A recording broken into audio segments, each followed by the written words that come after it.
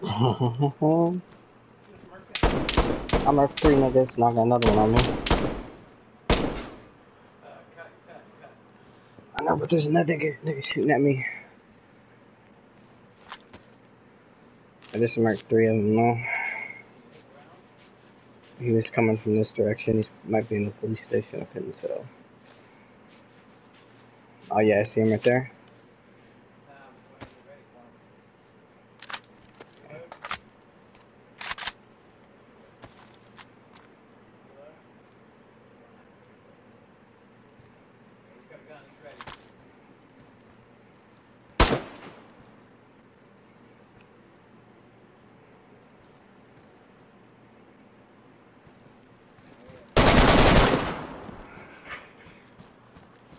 I marked four niggas, bro.